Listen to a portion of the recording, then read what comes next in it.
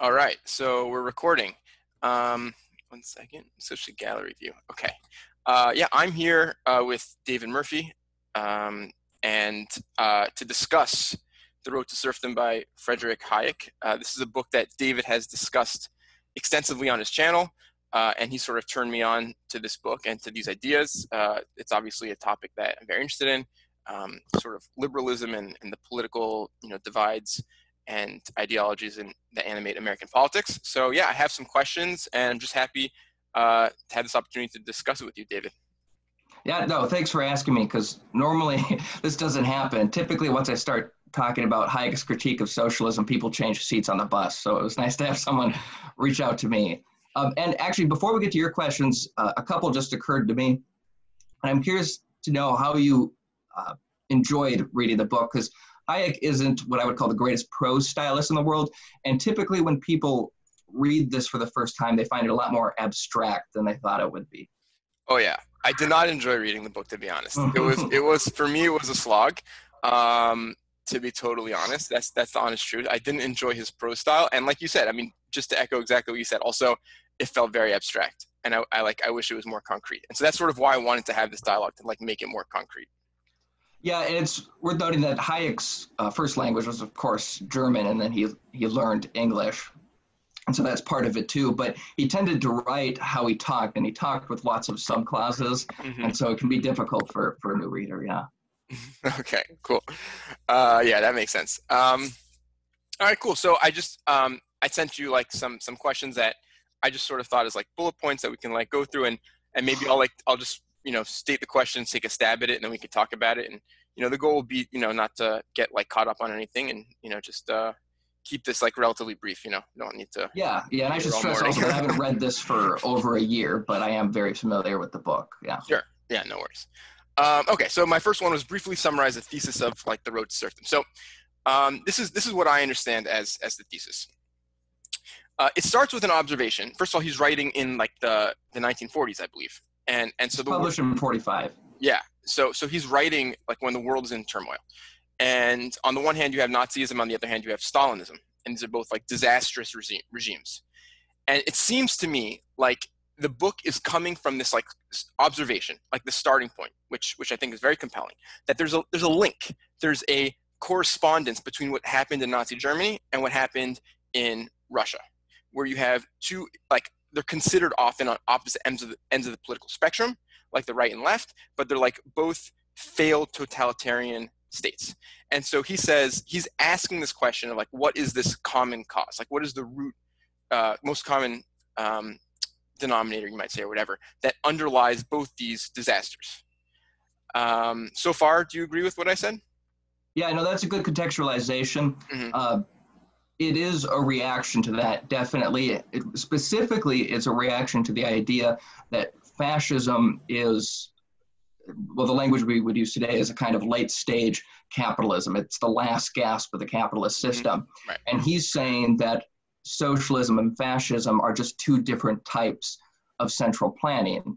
And I know people object to that, and usually the response is that, well, obviously, fascism isn't Bolshevikism, you know, it doesn't have a dialectical materialism or anything like that.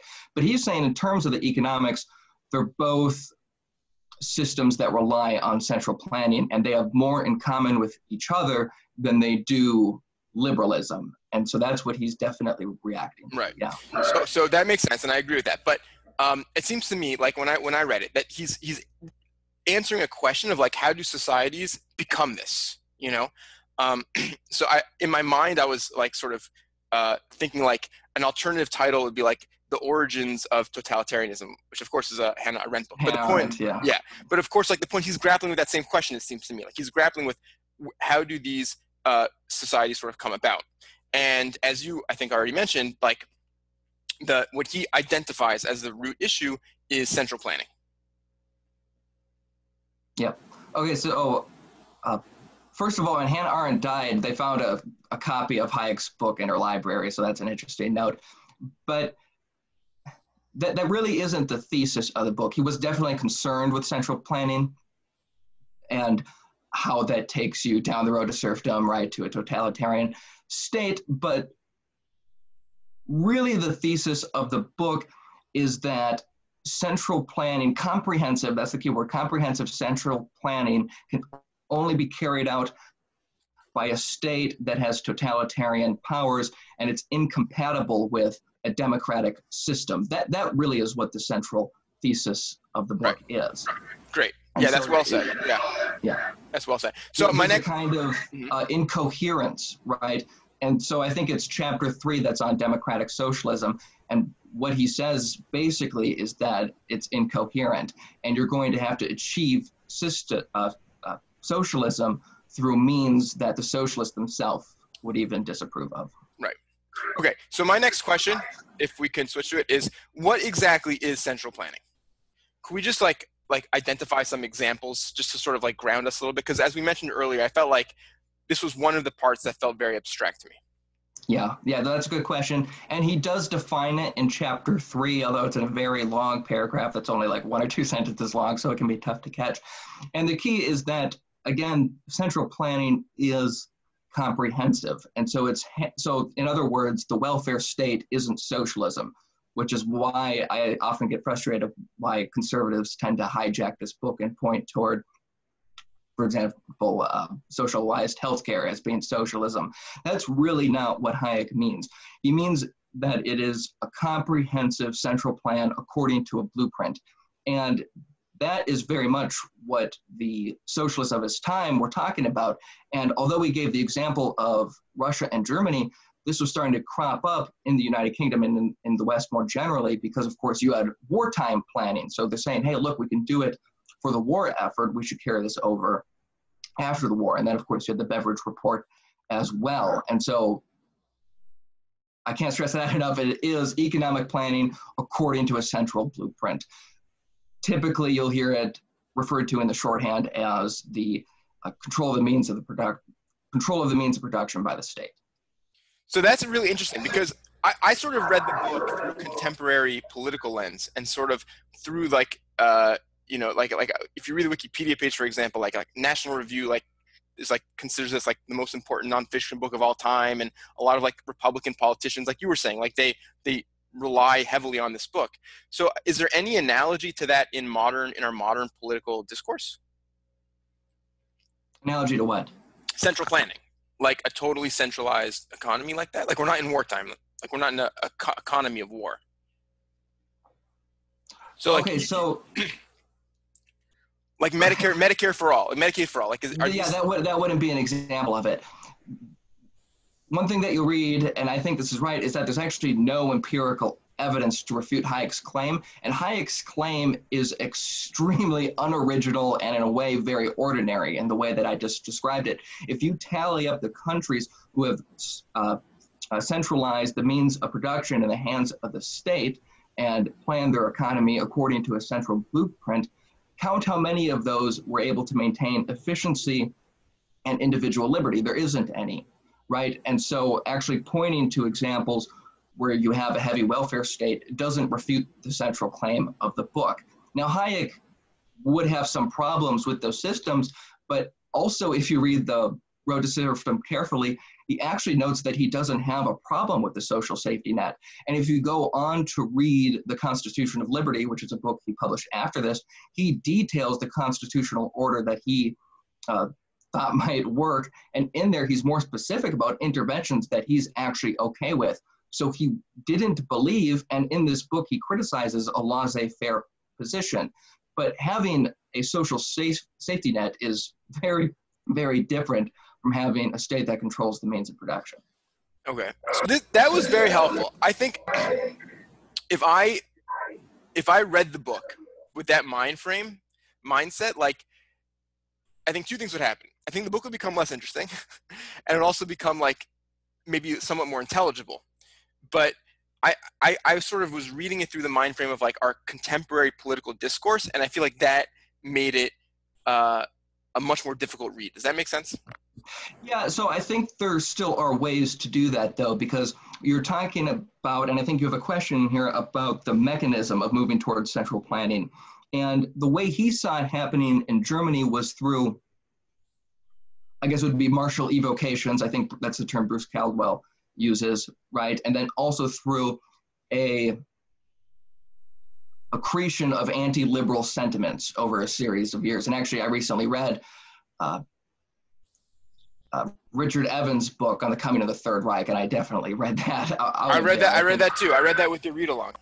Yeah, so you know exactly what I mean. We had this growth of anti-liberal sentiments, and that became institutionalized, and then you have a series of, like I said, uh, martial adjurations, basically, and that set a precedent. So that's what he saw happening. That's the process that he saw. But again, it wasn't inevitable. But there is an incoherence between a democratic system, like the idea of Weimar, and the central planning that they were going down. And the thing is that they kept pushing that incoherent system and uh, the consequences were totalitarian. Now, I, I, was answering your question about how you could read it today. I think you can read it in terms of like emergency powers, which is obvious after 9 11 and has continued since then, right? So that would be one example of it. But then also, obviously, today with people who are bringing back the term democratic socialism, and that's what I, th- I think it was chapter three is about. Mm-hmm. Okay. So they say that they want businesses to be run democratically, but then they still are supporting uh, politicians who have centralized policy proposals, right? So the rhetoric and I think the policy are incoherent. So okay, so just can you spell that out like a little more? So what what's the what's an example of like of like of the policy proposal which uh, would sort of fall into the centralized planning bucket? Among Democratic Socialists of America, let's say they're an organization that's considered very far to the left, relatively speaking. Well, Does my question make sense? Yeah. Yeah, I, I think it does. But again, I think most of it is that if you look at their platform, many of the policies are state directed. I think that's basically the point that I'm making. And like what, like healthcare, like like free college. Healthcare would be an example, yeah. So healthcare would be state directed. But but again, healthcare itself isn't necessarily uh, socialist just because you have socialized healthcare. It's it's state ownership and direction of the means of production. And what I was saying is that the rhetoric is that this should be done. Basically, corporations should be run democratically. But the thing is, there's nothing preventing anybody from running uh, corporations democratically in the system that we have right now, and they aren't pursuing it, and they aren't pursuing it because it doesn't work, right? And they're also not pursuing it because they would prefer to do it through uh, state means. Okay. Gotcha. Okay, cool. I think. Yeah, that, that, that, that's, that's separate. I mean, that's a, my opinion. Right. It doesn't reflect on the book, but. I gotcha. I got, yeah, now I want to stick with the book. Yeah, we should definitely stick with the book. Um, okay, I guess I guess maybe a common theme you'll hear in my questioning, uh, just like emanates from the fact that like, again, we've we've touched on this already, but it, it didn't feel so like grounded in practicality, you know. And I just wanted to like help bridge the gap between like theory and like practical sort of political discussion. Um, but let's let's move on to this question of um, the mechanism, right, which you touched on already. Um, the mechanism by which central planning leads to totalitarianism. So, like, so for example, Richard Evans, right? Basically, any book that's going to discuss uh, the story of, of Nazism in Germany, Germany is going to like deal with a mechanism with which liberalism was rejected by a large amount of people. I mean, I don't think I think Richard Evans says that the Nazis never won a majority, um, but they obviously were, you know, elected. Uh, excuse me. But he also said a vote for the socialist parties was also a vote against democracy too. Because mm. you have okay. to understand, the the parties that believed in democracy were, when you include the fascist parties as well as the socialist parties, were a smaller proportion than you might think. Interesting. Okay, so so when I read Richard Evans, my my takeaway wasn't that central planning was what led to the lack of uh, faith in democracy. I mean, my takeaway was that it was like the uh, Treaty of Versailles and like the hyperinflation in the wake of you know total economic collapse and just like total disillusionment, uh, mostly emanating from like economic uh, disillusionment that led to disillusionment in the you know liberal uh, form of government. Is that is that do you think? Well, Hayek doesn't say that it's just central planning that leads to. Mm-hmm totalitarianism. So, so what's so right? So well, what's well? Okay, my all I'm saying was that's true. What no. what he's saying though is that once you have a comprehensive central plan, you're not going to be able to tell the difference between uh, political control and economic control. Let me think about that. So economic centralization becomes political control as well, because once you have a comprehensive plan for the economy, you're directing resources, and that gives you control over individuals' decisions. Whereas individuals would previously, in a sense, plan for themselves, you're now planning for people themselves. Okay. So this was this was something I really struggled with throughout the book, and, and I found very hard to wrap my head around. Maybe maybe you can help me, and if not, maybe it's just you know my uh, being too um, I don't know unreasonable. But like if it reminds me of like the book The Power Broker, um, which is about uh, Robert Moses in uh, New York. So he, yeah. he he did a lot of central planning. He was unelected government official, very illiberal. Um, but he you know he he was responsible for like placing highways and and and managing you know uh, all sorts of questions of eminent domain and like where transportation is going to go and and there were winners and losers um, in all these decisions um, and he, he like wreaked havoc in uh, in New York and he like destroyed poor communities and things like that. But like the solution to that you know I think the problem there was the fact that he wasn't a democratically elected official. But you imagine if there when there is democratic oversight like if you elect someone and that person has the job to make these decisions how does that lead to anti-liberal sentiment? Like I, am I'm, I'm missing a step here and maybe I, I don't know if my question makes sense. Well once the state takes on so many tasks it's no longer practical or possible for the democratically elected officials to carry them out so they end up delegating and of course right. we see that here in the united states now more and more as well so what happens and this is what he means by saying that uh, democratic socialists will find their plans carried out through means that they don't approve. He's saying that eventually this is just going to have to be done bureaucratically. It's not practical to do it democratically. But, but to me, that's democracy, though. I, I don't see that as, as not being democracy. Delegation? Dele- yeah, that's I guess maybe the disconnect. I don't see delegation as being undemocratic. Like like when I elect when I elect when I vote for for a government official, I'm not voting for that government official because they're going to write tax policy. I'm voting for them because they're going to like find experts who not are going to delegate. They're not going to delegate. No, they're not going to write tax policy. Not anymore. No. Right. Or, or any policy. I don't care. Like like like like regulate. But it wasn't always that way. Well, there's an infinite number of policies. So like even if they were writing tax policy, I mean, were they going to be writing like like regulations on on you know import you know business of a certain good like no there's always delegation that goes on in that process you're hiring someone who's going to delegate like that's just to me the definition of democracy that's a strange definition of democracy, but Hayek, I should say, differentiates between good planning and bad planning. And so he views uh, democratic systems as allowing a, uh, for a framework of rules that people can operate in. What happens is you go beyond having that and believe that you should give people the means to achieve the good life, for example, right?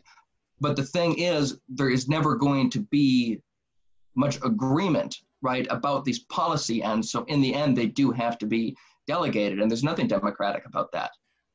Again, this was another. We're hitting on another point that I really struggle with in the book. And again, it could be me. It could totally be me. And it could be that anyone watching this will not have the same issue. But when you talk about they, there's not going to be agreement on the ends. Like that's like the fundamental problem of civilization. And the answer to that problem, the fact that different people have different agendas, which Hayek talks about obviously, and different uh, interest groups have different ends in mind, is that is you vote, right? There's a democratic process to pick uh, someone who's responsible then for like picking winners and losers ultimately. And so uh, it seemed to me like again, maybe I'm misunderstanding something. It seemed to me like he saw that this idea of government picking winners and losers undermines democracy when to me that literally is democracy we pick winners and losers by voting and then picking someone who's responsible for for making these decisions. Okay, but that's very uncontrolled. There are two different because because you can reach social ends through the market and not through the state, right? The problem with state uh, direction is that it can only be done categorically. And the problem with categorical decision making is that opens you up to generalized error. To use statistical reasoning, we might say type 1 or type 2 errors. To give a specific example, let's take the FDA. If the FDA rejects a safe and effective drug, right, that would be a type 1 error. And that would be generalized throughout the society, and they would be deprived of that. But if they approve an unsafe drug, it's a type 2 error, and then that problem is also going to be generalized over society. And that's the problem with state decided categorical decision making. And that's true whether it's done democratically or through some other type of system. Decisions, when done on the market, are more incremental or transactional, right? So when you're saying that reaching social ends through democracy is the way you're talking makes it sound like that's the only way to uh, solve problems. And Hayek and I would reject that, right?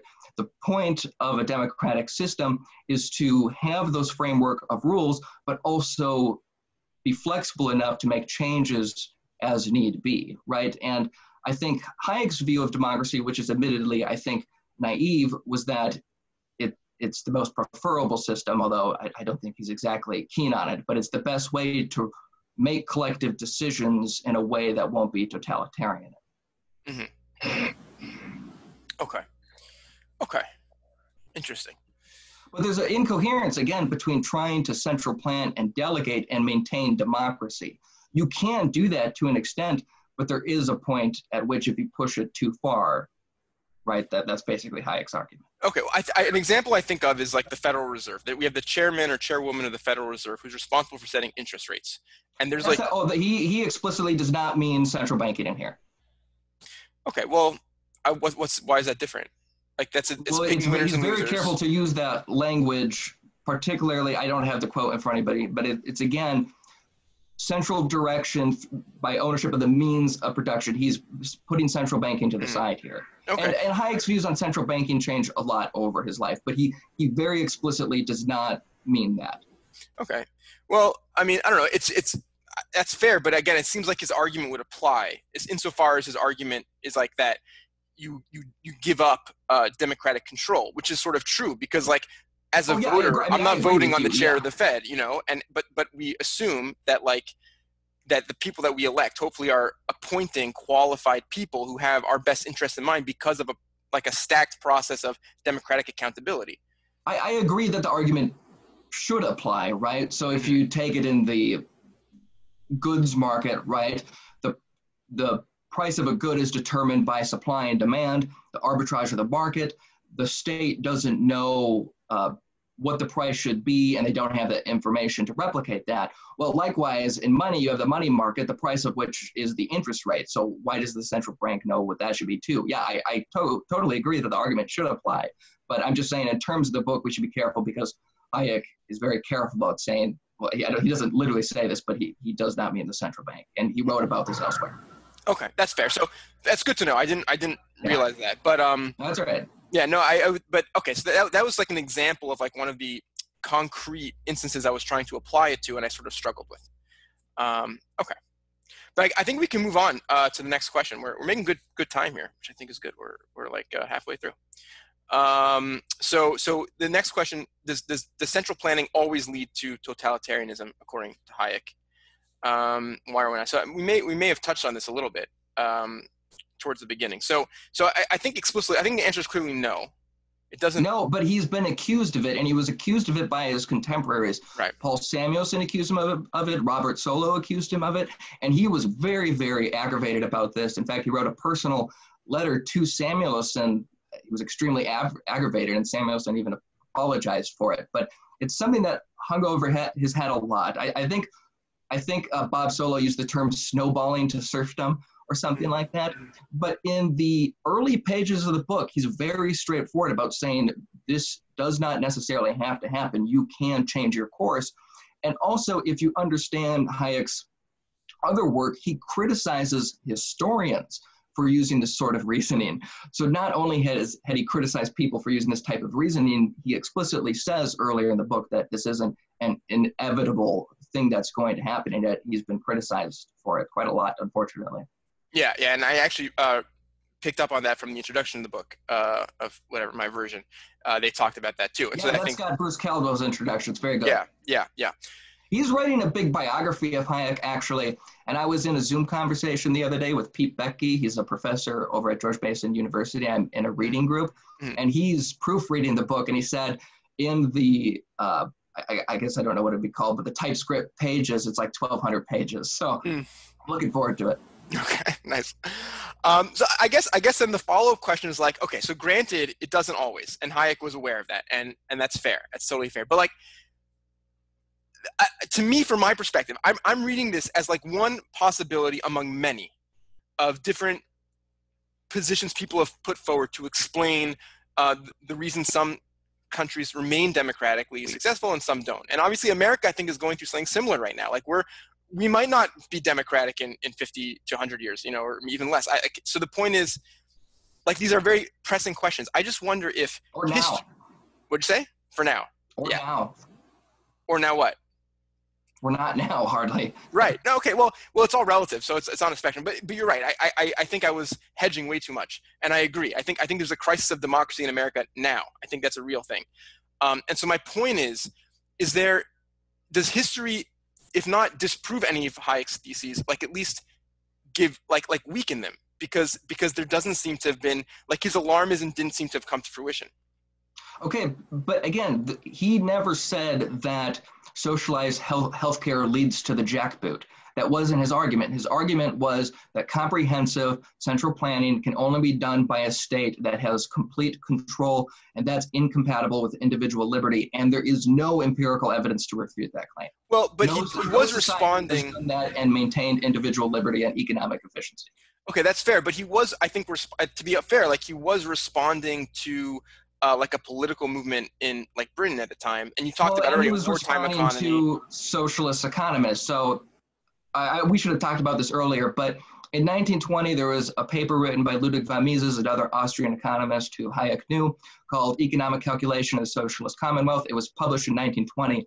And in that paper, he proved the impossibility of socialist planning when you eliminate private property and the means of production, because resources are coordinated in time and space by prices prices are determined through arbitrage on the market by people who own private property. When you eliminate private property, you eliminate that system, and central governments cannot rationally allocate resources.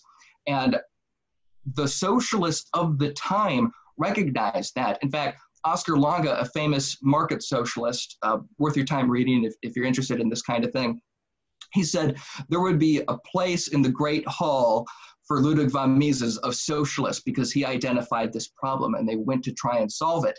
And then Oskar Lange and, and some others then sparred with Hayek over this debate.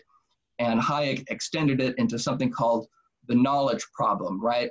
Mm-hmm. And then in 1935, he published a collection called Collectivist Economic Planning, which, in terms of the theoretical debate, was basically the nail in the coffin of uh, central planning. And so he was responding to that on the theoretical level. And then in the political dimension, he was responding to what he had seen on the continent and then also the way things were tending in Britain at that time. Okay. Okay.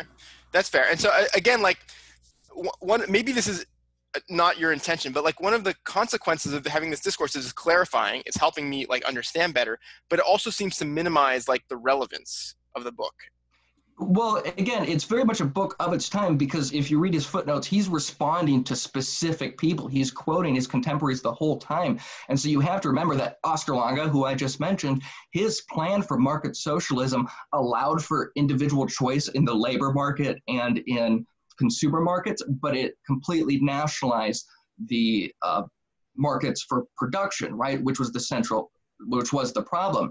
And then you had his contemporaries in the UK arguing for centralized planning of that sort after the war. And so, well, you may not feel like that debate's going on right now, and so then it doesn't feel relevant. It was very much the conversation that was going on at that time and for the 20 years before it. Mm-hmm. Yeah, that's fair. That's fair. Um, still holds. The central point still holds. Yeah. Okay. Okay. Cool. So, so uh, number next question um, is: What are the exceptions to Hayek's rule? Uh, what are the instances that of central planning that he finds acceptable? So this might not be a good question. Yeah. that's a good question because he does identify plenty of areas of central planning that he finds acceptable. And I don't remember where it is, but even in the Road to Serfdom, he says that they could ban the use of uh, drugs. He was fine with that sort of thing, which mm-hmm. I don't think too many libertarians would approve of now. and he's also fine with the social welfare net. And he specifically, as we mentioned before, spoke out against. I think I think he refers to it as the wooden laissez-faire policy of people like Ludwig von Mises. So he was comfortable with some intervention. The key, the key is that it doesn't intervene in the process of production. That's mm-hmm. really the main point for him. And that's hard to tease out in this book if you haven't uh, before, you're not familiar with Hayek. But if you want to get him more detailed on those points, you'll want to go to the Constitution of Liberty and then Law, Leg- Law Legislation Liberty published after that. Okay. Because that, that was a huge source of frustration for me in the book, like not understanding that line. Like I don't know. Yeah. I, I, it's a kind of book. And that's like, not your fault. That's Hayek's fault. I should right. Yeah. Like I read, yeah. I read like fiction books sometimes that are over my head, and I need like you know like Shakespeare or whatever. I need like I need like the Cliff Notes or something to like help me through. Like I feel like I needed that for this book because yeah. because it was such a source of frustration to not know where where is this line. Like I have the quote. I printed it out um, on my uh, sheet here. So okay. there is no reason why in a society which has reached a general level of wealth ours has the first kind of security should not be guaranteed to all without endangering general freedom. That is, some minimum of food, shelter, and clothing sufficient to preserve health. Nor is there any, re- yeah, and nor is one last sentence. Nor is there any reason why the state should not help to organize a comprehensive system of social insurance in providing for those common hazards of life which few can make adequate provision again and the key there is that he doesn't view i mean i should say i disagree with that but and many libertarians have been frustrated by his comments to that effect but but the key here is that those don't, according to him, intervene in the process of production. And centralizing the, pro- the process of production is the debate politically and economically that had been going on. So that's okay. what he was concerned. That's with. fair, right? So I know I know you disagree with that, and I want to stick with discussing Hayek instead of instead of yeah, uh, yeah, yeah, yeah. No, I do too. I do too. But, yeah. But it, it was just funny from my perspective because I totally agree with it. Like I agree with it strongly, and so I'm reading this like very troubling, like confusing book where I don't really understand where he draws the line. I'm like, like maybe Hayek is just an ally. Like maybe you know so, maybe he's like a modern socialist. You know. Like, okay, don't say that. But uh, let's talk about that idea of drawing the line because there isn't really a principle in the book where he says, okay, at this point we can't have a drop more of central planning, right? There really isn't anything like that in that book. I, I completely agree. The best thing that we get is the distinction between generalized rules and then command rules, right? That, that's really the main difference that we get and it isn't exactly satisfying. And this was this is, I think, probably the best criticism of the book, and it was done at the time. Alvin Hansen, uh, another great economist, made that criticism. I think it was in the New Republic. I don't, I don't remember though. And then Keynes made that criticism in a letter to them. They, they were corresponding, and he basically says, "You identify good planning versus uh, bad planning, but you don't tell us where to draw the line." And so the project Hayek took on after publishing this book in the books that I mentioned a moment ago is trying to articulate where exactly that line is. And in a way, that's the point of his book, The Constitution of Liberty. So your frustration is, in fact, uh, very intuitive because that is, I think, the main problem with his argument. It was pointed out at the time, and he tried to articulate it later on. Do you think Hayek would be against the FDA for the reasons we discussed as being central planning? I suspect so, but I, I don't really like trying to do that. okay, fair enough. Yeah. That's all I tried to do this whole book. What people would and would not. Uh, Every single what, page in the book, I'm trying to answer the question like, like it's very simple. Does Hayek like the FDA or not like the FDA? Like it's all I wanted, you know, to understand, which may sound like a silly kind of very surface level way to read the book, but like I just wanted like something to hold on to, you know, like practically speaking, if that makes sense, you know. Okay, but we don't have to we don't have to speculate. Okay. Um, so that's it. Last last question here. I think this is uh, I think this is good. I think we're I, I like that it's not dragging. Um, is is Hayek's thesis uh, compelling, basically, and you know what other theories can explain the same data? So so basically, like I, I think maybe we agree on this. Maybe we have different angles, but I think I think we can sort of both agree to some extent that like there's a crisis of democracy going on in America, um, which which to me is like very uh, troubling and like you know I, I think about a lot. I worry about a lot, and it seems to me that as far as I could tell, I found nothing in this book that could like speak to that crisis of liberalism in America. And I was wondering if you really? disagree that. Yeah. Yeah, I think the issue of agreement does because when the state takes on too much, then there is less and less agreement about what exactly it is doing. And so when you have the state providing health care and this sort of thing. When you go and vote, someone who's voting for another politician isn't just someone who has a political difference with you that you can set aside, right, when you're at a family gathering. There's someone who's literally threatening your health care, right? And so I think that that issue of agreement speaks very specifically to our time. Let me think about that. I want to. I want to. Uh, yeah, give me give me a second to think about that. It sounds like you're describing political polarization. Is that is that a reasonable characterization of what you're describing? So it's like is like would it be fair to characterize like Hayek's a part of Hayek's point here that democracy leads to political polarization, which then yes, but that's also what he's talking about uh, when he's referring to uh, the the anti-liberal sentiments in, in Germany, right? That is expressed by the fascists and the socialists, and that's about as polarized as you can get. Mm-hmm. And that's the same thing today, where you have the left and the right, who both both of whom have been driving to the margins for some time, and then you have liberals who are stuck in the middle, people like me who are sympathetic to Hayek, saying I don't like either of these alternatives. In the same way that people in Germany were saying, liberals were saying, I don't like either of these alternatives of the socialists or the fascists. Mm-hmm. And like I said before, those two even though they're polarized, they have more in common with each other than they do that person we're talking about, that classical liberal, which is why I also get so frustrated when you read Eric Hobsbawm, who is a socialist historian, and he went to Germany and he said, Well, when I looked at the fascists, how could I not be a socialist? Well, our response is when you look at the fascists and the socialists, how can you not be a liberal, a classical liberal, right? Mm-hmm. And so, again, I think this speaks very clear to our time. Well, interesting. So there's a lot for me to digest here, and I, don't want to. I don't want to like shoot from the hip and, and like not fully digest what you're saying, um, and and respond to it. Um, but I mean, I want to make sure I fully understand what you're saying before I before I try to respond. So, I guess I guess here's where we agree, right? You and I, I think, agree that we are like both that democracy is extremely important, right? And and and a crisis of democracy means that we're in danger of losing something which is very important.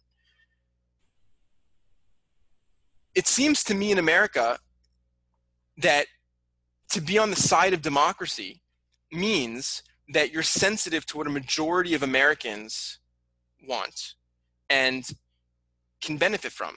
Whereas to be on the side, to be anti-liberal, is to is to not care um, what a democrat, de- like a reasonably democratic uh, population um, would want.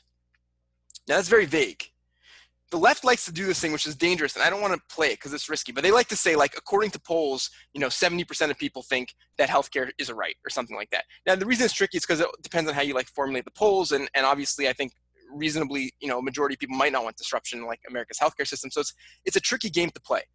But but I do feel like I do feel like it's not it's not a given that the side of democracy is less government the, the side of democracy very very well could be you know majority of Americans hypothetically want more government and that's and that that's that's preservation of democracy. That that's that's like democracy winning.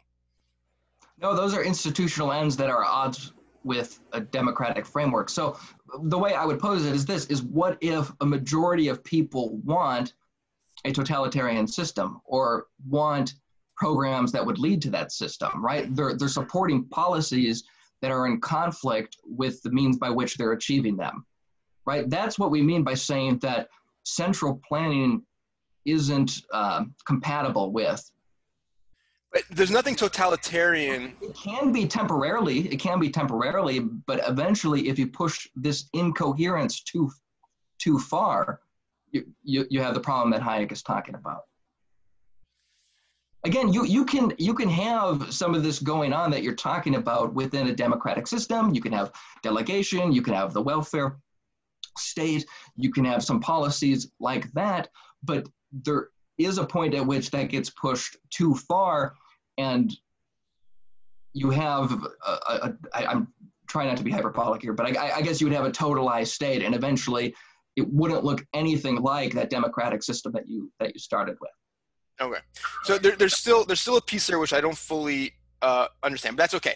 I want to ask you a slightly different question though. Um, so so so again, there's a lot we agree on. There's a lot we really agree on. We, we, we agree on this crisis issue and this question of like to what extent does Hayek speak to this crisis that we agree I think is a real crisis. So so my questions are like, what other factors could be explaining this crisis? Like, do you think, in your opinion, or I mean Hayek's opinion, we can talk about Hayek, let's say, runaway income inequality. If you have a system where the 1% is, is exploding in wealth and there's stagnant wages for the bottom, you know, 70%, whatever, can that be a threat to liberalism?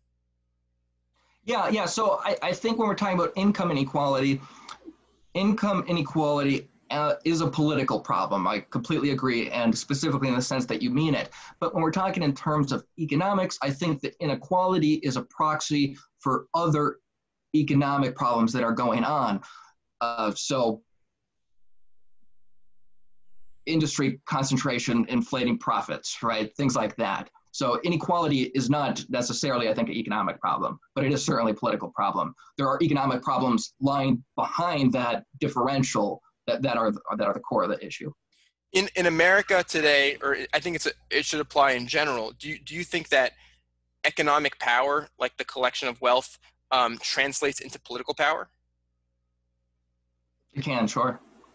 So, like, these are examples of, of other reasons why I can imagine people turning on the democratic or liberal political system that that I perceive as being in crisis, and I see these as being potentially more salient uh, concerns. But again, this is a point that Hayek makes when you talk about the state delegating more things, and you're saying that's perfectly in line with the democracy. Well, the bigger the state is, the more state there is for large private corporations to purchase, so to speak, right? It mm-hmm. then becomes the avenue by which you get things done you can do things by the economic means, which is through transactions, trying to earn a profit, right? Sometimes making a loss, or you can do things by the political means, right? And the larger the state, the more things are going to be done that way. Interesting. So yeah, I, I know that there's a, there's like often um, like a big emphasis on like rent-seeking behavior and things like that, in which corporations can take advantage of like let's say you know government programs or government research.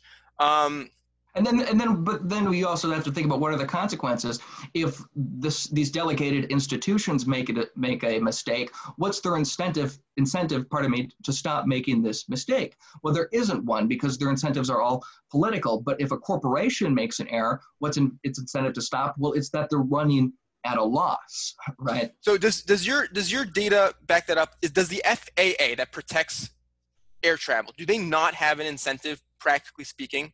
to protect people's lives in airplanes? Like, do you stop, think? Yeah, to stop planes from falling out of the right, sky. Yeah.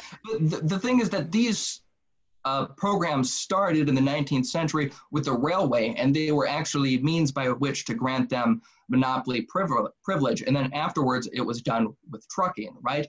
And then later on, it was also done in other industries as well. And so the question again is are these institutions conferring privileges on some of these companies, and I think they absolutely are.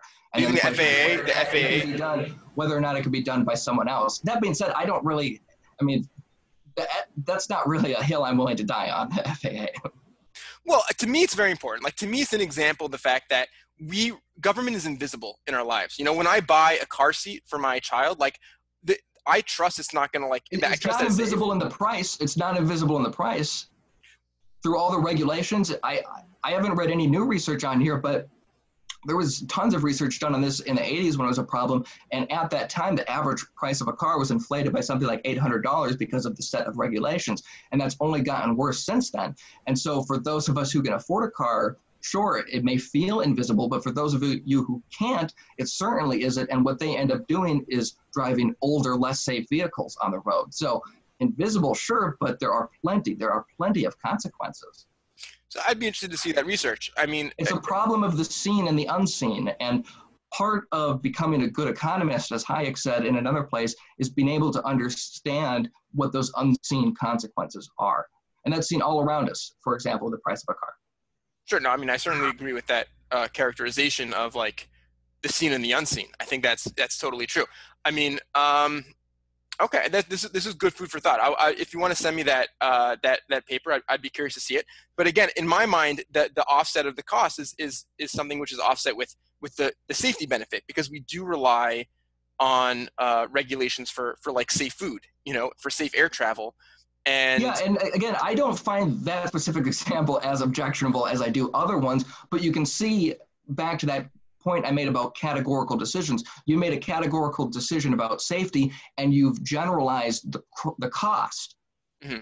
Right, among people who are buying cars. So it's a third party, the state, imposing this cost on people who are purchasing cars. You've made that categorical decision for them, whereas it would have been done individually. In the case of car cars, I don't find it nearly as objectionable as I do in other areas of the economy. But okay, but again, the point is still there. I, uh, to me, I see that as being under democratic control, even though the chain is sort of hard to trace. Like ultimately, we elect people who are do have incentives because you asked the original question that they could have but couldn't have they chosen a different set of regulations?